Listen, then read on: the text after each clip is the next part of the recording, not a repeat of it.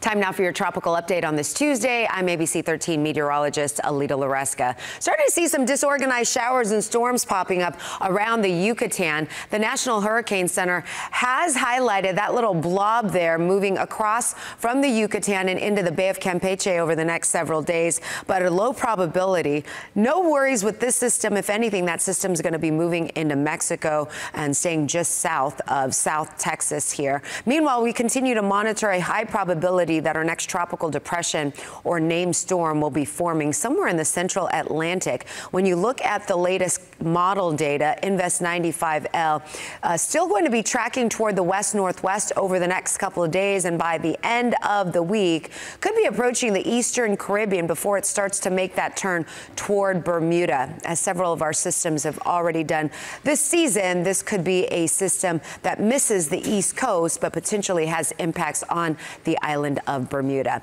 If this system gets a name, the next name on the list would be Jerry. All right, that's a look at your tropical update on this Tuesday. Thanks for watching.